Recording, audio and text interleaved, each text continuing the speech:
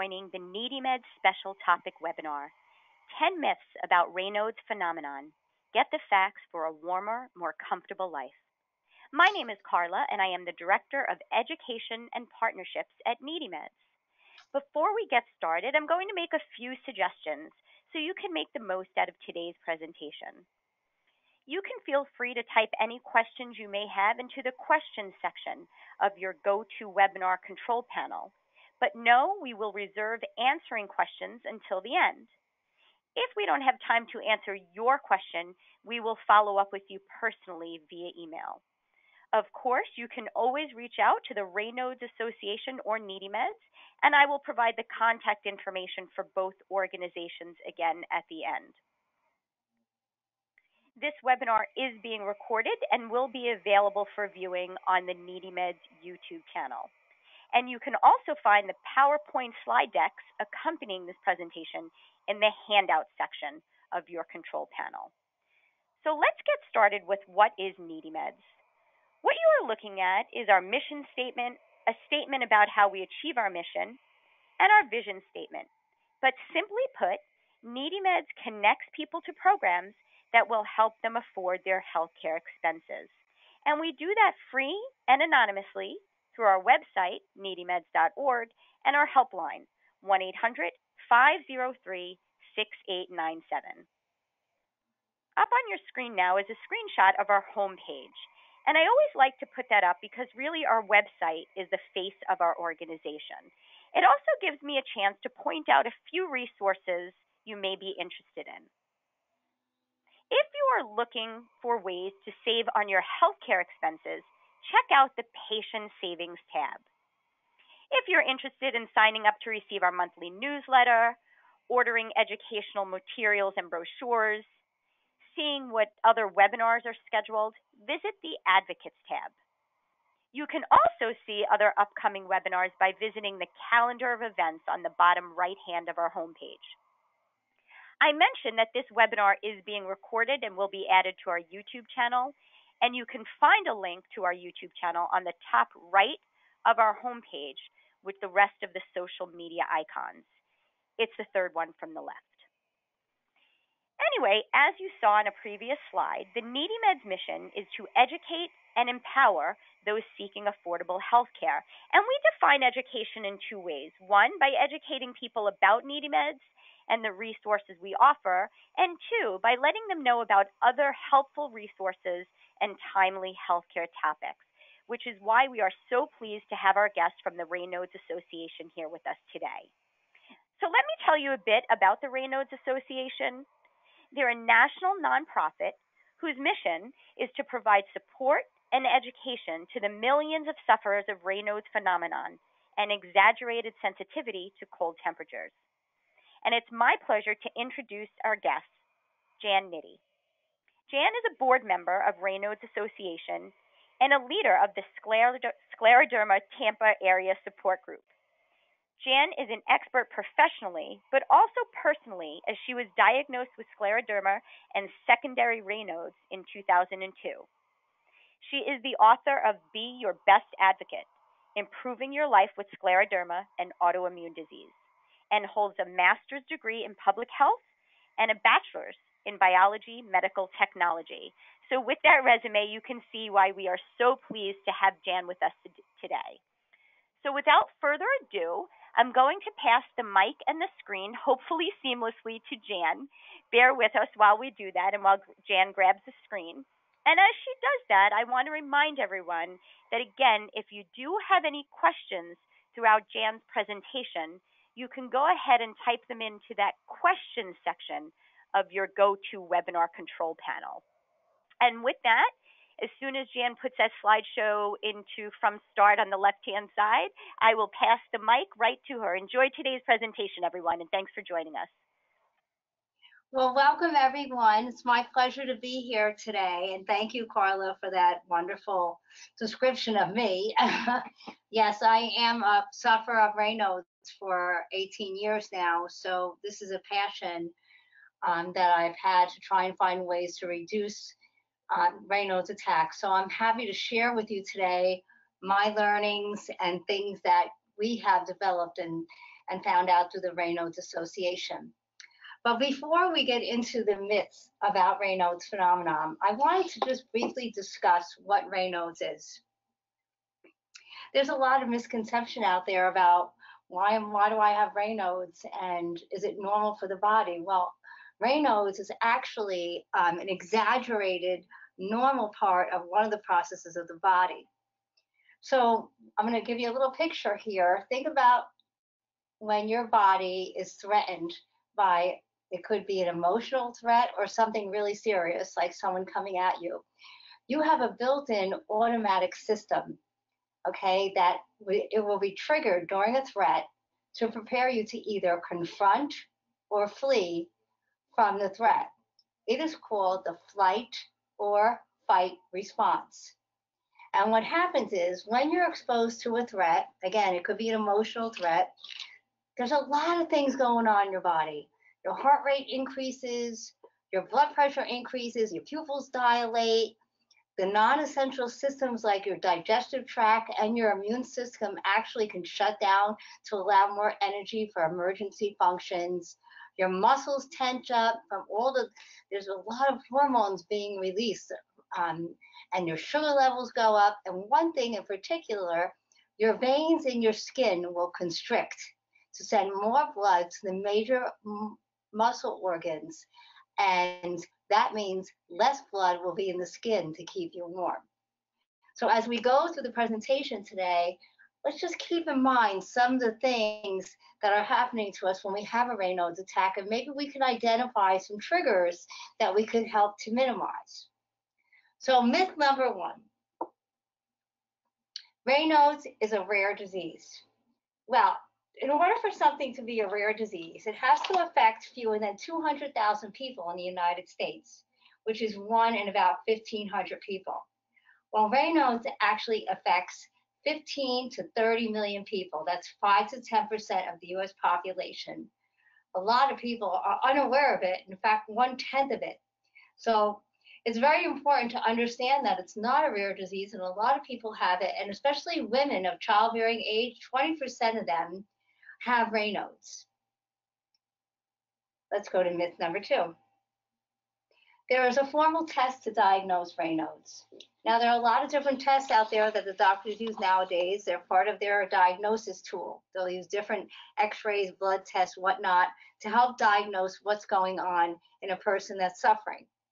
But there is actually no formal test for diagnosing primary Raynaud's. Okay, I'm going to get into it a little bit more later about primary and secondary Raynaud's, but there is no formal test for primary Raynaud's.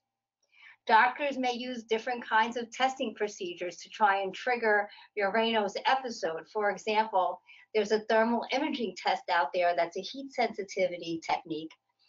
Yet it's not 100% because you have to have an attack when you're having the test done. There's also the cold water, water trigger test, and I could contest to this. I did a, a presentation and a demonstration to workers in a healthcare setting, and we had them go through the cold water test where they submerged their hands in water and then took them out, and we would see the response to their hands if there was any color changes. So those are some little tests that the doctor may do. If the doctor is suspicious that there might be something going on causing the secondary Raynaud's to occur, he may do such things as look at the nail fold under a microscope to look for abnormalities of capillaries or any kind of deformalities or enlargements of the tissues around the skin. The classic text, textbook test, the anti-nuclear antibody test, also known as ANA, is used as a screening for primary and secondary conditions, meaning you have an ANA positive, okay, that doesn't necessarily mean that you have a secondary condition causing the your rheumatoid your your um, excuse me, your Raynaud's. But the doctor can use that first test, the ANA test, to kind of get an idea and actually look at further testing from that to determine if it's primary Raynaud's or secondary Raynaud's. So keep that in mind when you get your ANA test, if the doctor does it, um, to keep a benchmark, know what your original number is. And beware, there are false positives to that, so just keep that in mind. Myth number three Raynaud's affects only fingers and toes. Well, I can I can tell you that I have Raynaud's um, in many different areas of my body, on my ears. I have them on my nose. My tongue has had a Raynaud's attack, and believe it or not, um, women's breasts and sex organs can actually get affected. That's why um, they say that during the flight and fight response, you should look at other areas of your body, not maybe just your hands, but look at your toes or just keep an eye on what your body's going through, all extremities, not just your fingers and your hands. Myth number four Raynaud's sufferers have poor circulation. There's a lot of confusion here because a lot of people are like, oh, my hands turn colors in the winter. I think I just have poor circulation. Well, primary Raynaud's sufferers, 90% of them have a normal vascular function and circulation. So that means that if you have primary Raynaud's, there's nothing wrong going on with your vascular functions. If there might be a secondary condition, a secondary vascular condition, say for example, like carpal tunnel and whatnot, but 90% of primary Raynaud's is not a vascular condition. Now, there are different things out there that can um, lead to a Raynaud's attacks. For example, certain jobs like construction working drilling, any kind of repetitive pressure on the hands can cause a Raynaud's episode. And those conditions really have to be evaluated per, per person and look at the damage if there's any to blood vessels. So we're going to go into flight and flight responses, and that's where we'll talk about the different things that could cause you to have a Raynaud's attack. Myth number five. Raynaud's is an allergy to the cold. Okay, so what's the definition of an allergy? It's something that causes rashes, you get itchy, you're red.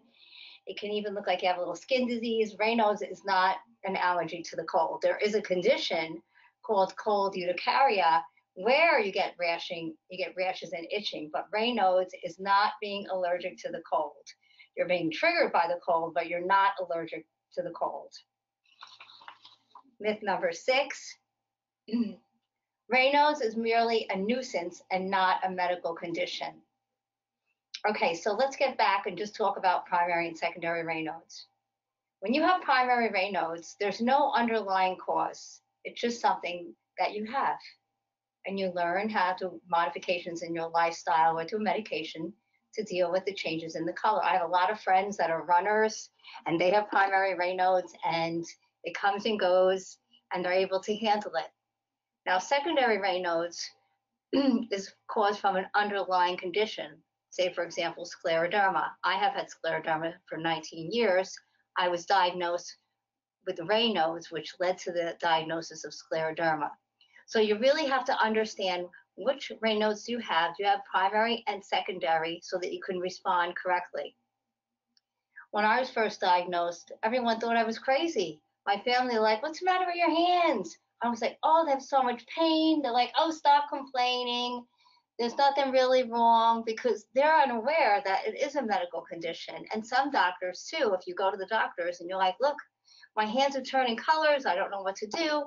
Well, one suggestion I have for you is to take pictures of your hands and take them to the doctor because you may not have an episode when you're with them and then he really can't visualize what's going on with the color changes in your hands and pain levels avoid attacks you know there's a lot of things that will cause you to have an attack not just cold weather it could be changes from hot to cold very quickly say you're in the supermarket and it's cold and then you come out of the supermarket and it's warm you could have a Raynaud's attack stress there's not enough to be said about stress and what it can do to the body, how it affects the hormone levels in your body, and how hormones are actually.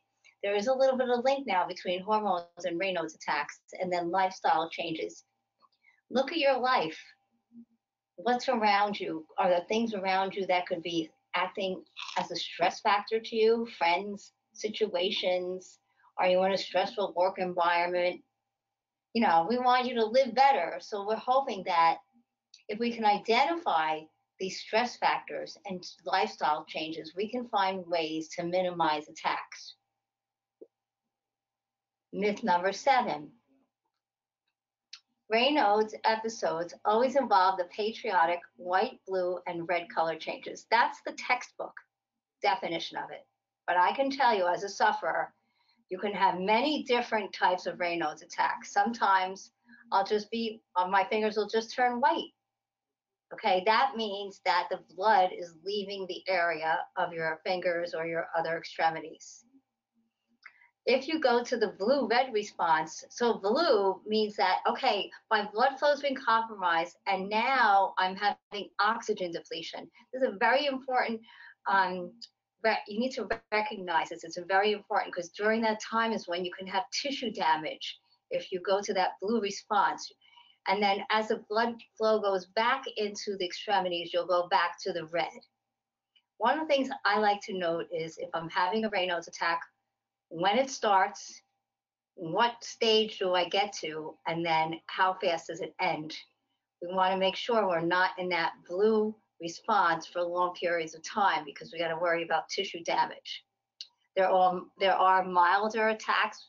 Like I said, you could just go, go white, and then you could have the more severest purple. I go, I can go right into a purple one in two seconds and stay there, but be out of it quickly, which is a good thing. You could have a reddish and a pink pattern. So everyone's different. We all have different responses, and that could your you might not have the same color changes as other sufferers. Myth number eight the only treatment for Raynaud's is to stay warm. Well, there are so many different medications out now there that are being used off label, meaning that they're not really, they weren't clinically tested for one disease, but they're they're actually they help with other diseases as well. And these are some of the medications I'm going to take you through, but there are others that if you really want to know more about it, you can talk to your doctor the first one is medications that increase blood flow to the extremities. For example, calcium channel blockers like Procardia, or the generic is called mifenemine.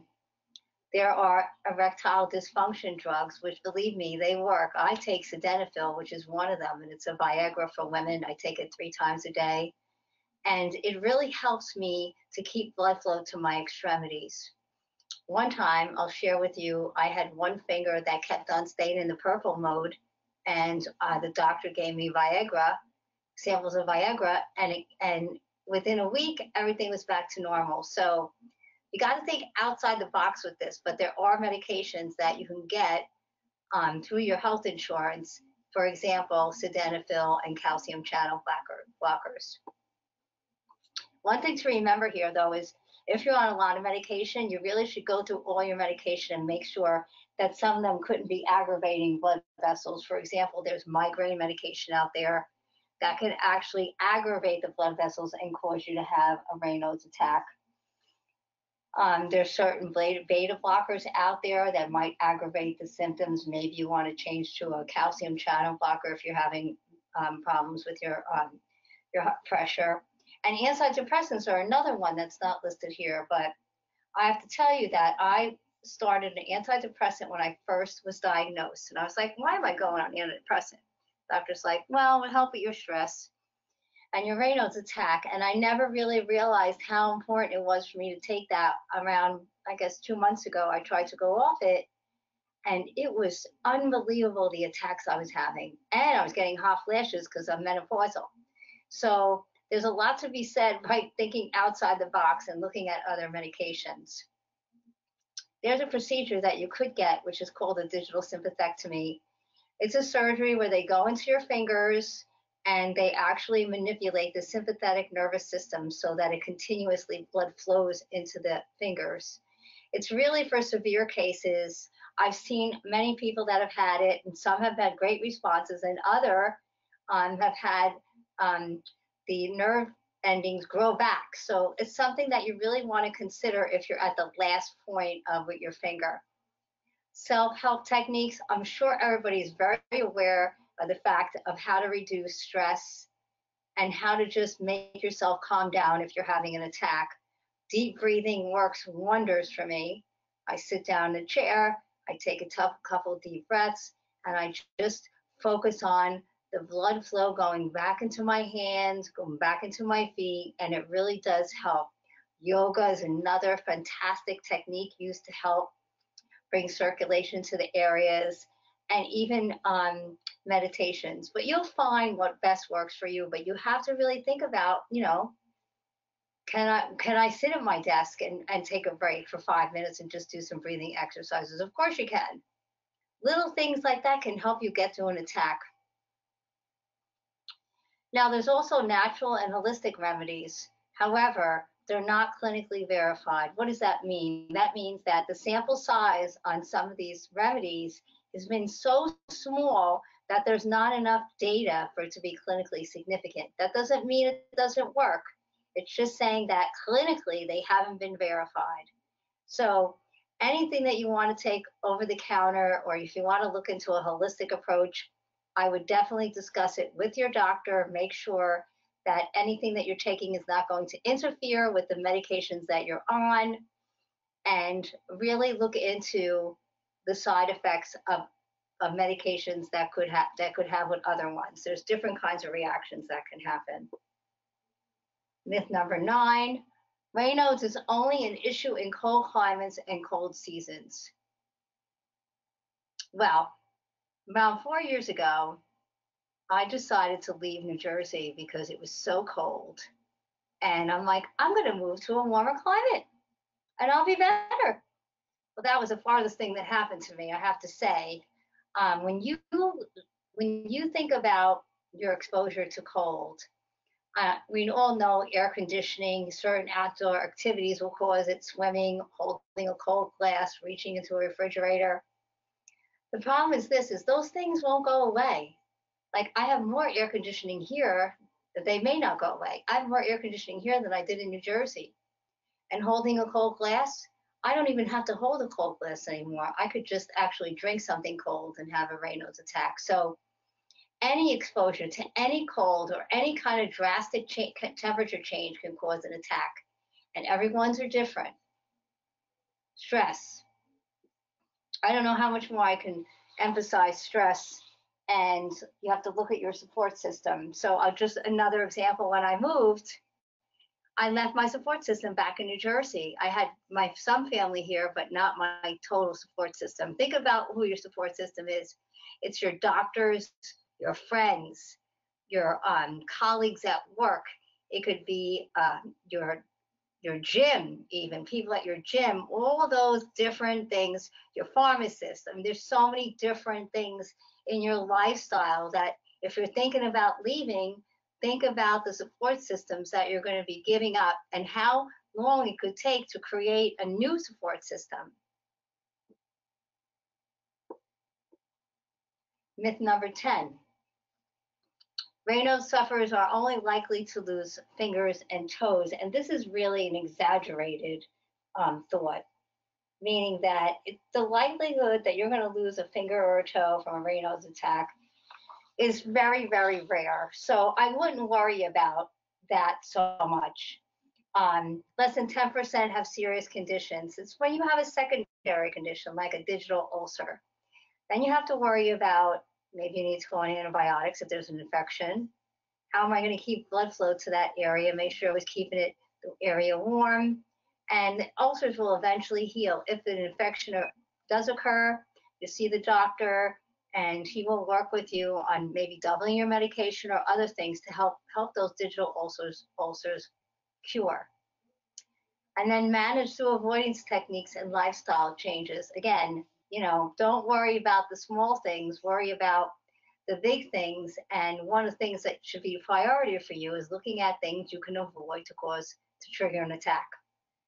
Like I know that if I'm going to the supermarket, I'm wearing my muff, I got hand warmers in there. I even wear a hat sometimes. I know people probably think I'm crazy. I live in Florida, but I wear a hat and I'm like, who cares? You got to do what you got to do, right? Now, I know that Carla talked about the Raynaud's Association, but I just wanted to go into this a little bit more. So there's a woman, her name is Lynn Wunderman. I met her back in the 1900s, and she is in the 90s. Sorry, she's the president and the co-chair of the Raynaud's Association. She was diagnosed in 1992, and she started the Raynaud's organization in 1990 and 1992, and she had three people. Now she has over 5,400 members, and she literally answers the toll-free hotline. I'm going to give you the number. You can call her and ask her anything. She's so she's so much information to give and very very helpful. And if she can't get you the answer, she'll try in other ways. Her the number is 800 280 8055. That's 800 280 8055. So that's one of the many benefits that you have with the Raynaud's Association. Membership is free. We ask for donations, but membership is free. And one of the things you get with the membership is you get discount on products. We have a store if you'd like to go and look in there. We have different kinds of warming warming techniques that we use, and there's a discount. The other thing to keep in mind is that we what we do is we get products from outside, from other from vendors, and we'll try them and give feedback. And then we won't make any recommendations unless we really truly believe that they're going to help.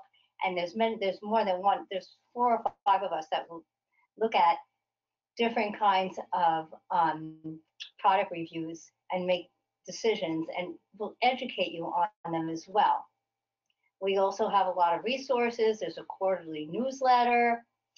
Um, there's a quiz right now. We had our Raynaud's Awareness Month in October where um, a thousand people took a quiz and it helps you look at, well, maybe I do just have primary Raynaud's or maybe I should look into, you know, am I really having that symptom? I never really thought about it. And then, of course, social media. We all go to social media for everything now, don't we?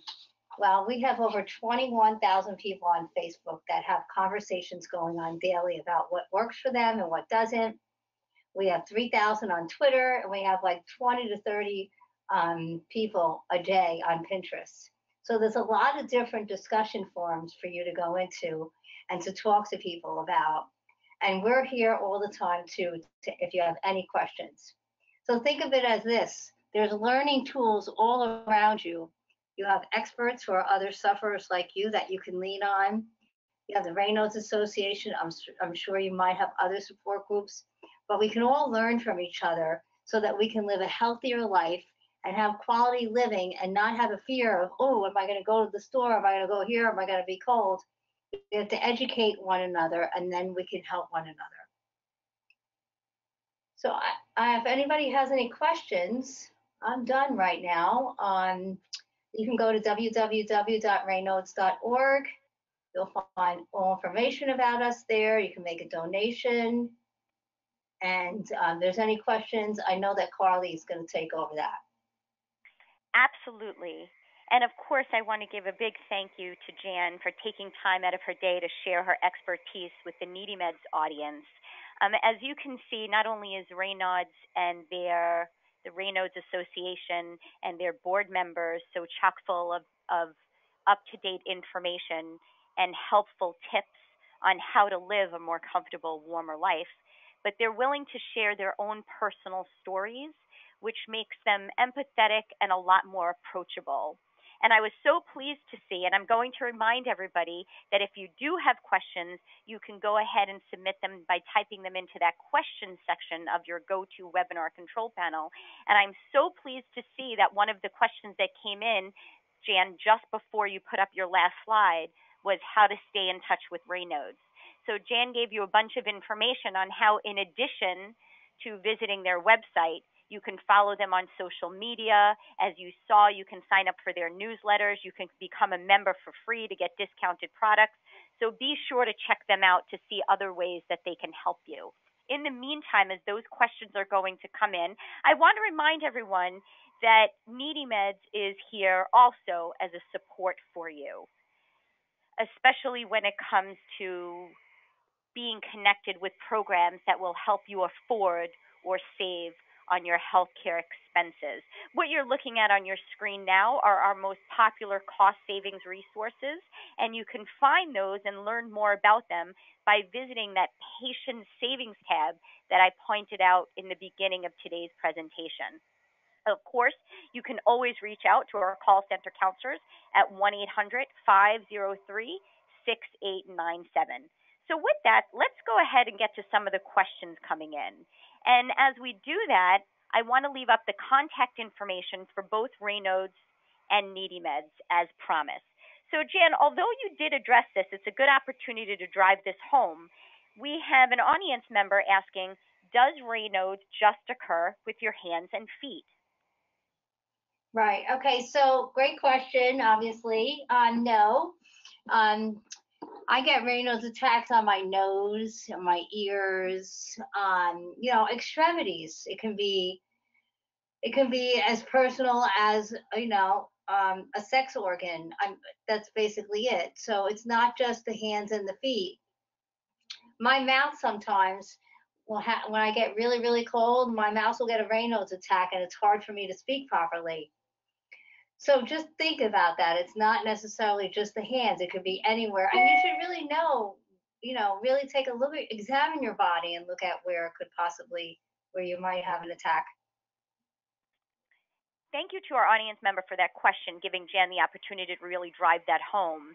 And it'll give me an opportunity to also stress that uh, something that Jan mentioned a moment ago that connecting with other people, whether it's on their website, whether it's reading their newsletter, and really importantly, whether connecting with other people on social media so you don't feel so isolated with the symptoms that you're experiencing may prove really helpful.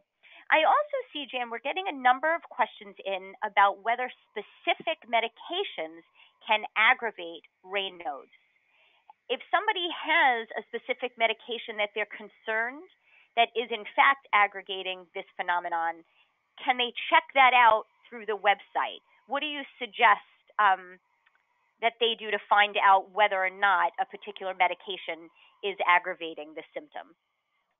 Okay, so let's think about our circle of our support system. You have your pharmacist in there, you have your doctor in there, and you also have other people, other sufferers. Now, I, I just learned about the migraine medication and how that can aggravate, um, aggregate, aggravate an attack.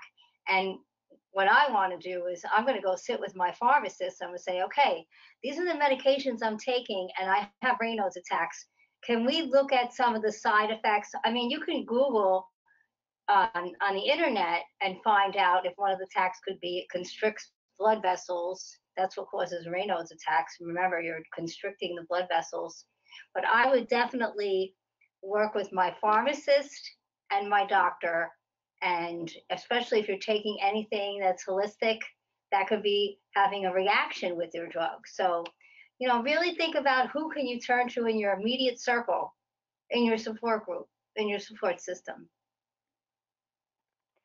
great, thorough answer, and thank you for our audience for asking it. And I will also chime in to say that on needymeds.org, again, under that patient savings tab, on the top left hand, you'll find a section dedicated to prescription assistance programs.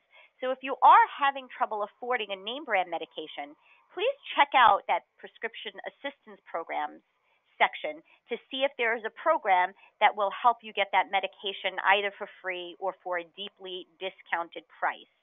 The reason I'm bringing up that specific section on NeedyMeds is because in addition to letting you know whether or not a prescription assistance program is available, we also have other icons on that section of our website that will provide more information about that drug. We have support pages which provide more information about that specific medication. And oftentimes, we also have drug videos about specific medications, so it's worth checking out. So do be mindful of, of, that. And again, if you don't have access to the internet or would simply rather speak with a live person, don't hesitate to reach out to our call center experts. And that number is on the bottom of your screen right now, and it's 1 800 503 6897. Another question coming in, Jan, is Are there specific foods that cause blood vessel constriction and may lead to a Raynaud's attack? That's a great question. That's a great question. And I have to say that it's very individualized. Like, of course, if you eat something cold, you it could trigger something like ice cream or a cold glass of uh, milk or whatnot. But specific foods that will constrict blood vessels, I'm not really aware of any of those. But you should actually, one of the things that you could do is you could start a journal of what you're eating and um, create like a little template there and say, okay, I, did I have an attack when I ate such and such? Like, I know obviously when I have ice cream, I'm going to have an attack. So what do I do? I try and eat ice cream outside where it's warm so that I won't have the attack. So it's really very individualized. If you want to start a food log and look at, you know, it's specific to you.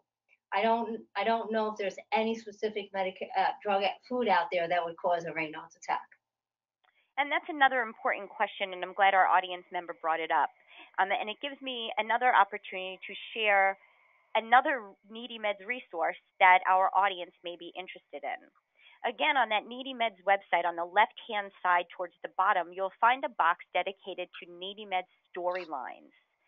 Storylines is a free self care app that makes it possible for you to track and manage your health. And it comes preloaded with the NeedyMeds drug discount card, which is really useful. But it can also act as a medication reminder, a pain scale, a vitals tracker, but what reminded me to mention this is Jan suggested keeping a journal. That app actually has a journal built into it. So check out again NeedyMed Storylines, and you'll find a link to it on the bottom left hand box of our homepage. It'll take you to a page that will provide more information about that app, and it'll let you know how to download it for, for free, which I believe you can do through Google Play or the iTunes Store. So we're going to go ahead and get to one final question, which is Is there a way to address Raynaud's issues for those who use mobility de- devices where hands need both dexterity and warmth, particularly if somebody doesn't drive? So that's a great question. And as Jan is thinking about that answer, I do want to remind everybody that we keep this question segment brief and if we didn't get an ans- a chance to answer your question, again, you can reach out to Raynaud's, or if it's NeedyMed relation, related, you can reach out to us. But we will also follow up with you via email. So, Jan, I'm going to turn that over to you and see if you do have an answer to that creative question, which is, again, how to address Raynaud's issues for those who use mobility devices, where they need to use um, their hands for both dexterity and they need warmth. Okay, so one of the things I do, um, so my hands are contracted, and I, you know, you have to worry about the pressure that you're putting on your hands because that can actually cause blanching, can lead to a Raynaud's attack. I cushion my um, my, mo- my mobility tools with a foamy material, which helps me handle them better without them putting strain on my fingers. Um, and I think that really helps and even on things in the house. I have I've, I've I've gone through my kitchen and what I've done is certain buttons that are hard for me to use or certain things I use to cook, they're all padded. So I don't have that pressure of the of the tool on my fingers when I'm using it repeatedly. I hope that answers your question. Um, That's a great question, and it looks like um, yeah, it was an absolute great and thorough answer to the question as always. So, with that, as I said, we're going to go ahead and wrap up today's presentation. I want to thank Jan for again taking time out of her busy schedule to share her expertise with the NeedyMeds audience. And I want to thank our audience for taking time out of their day to join us and participate in today's presentation. We do hope we see you at future NeedyMeds webinars. And with that, have a wonderful rest of the day. Take care and thank you. Thank you.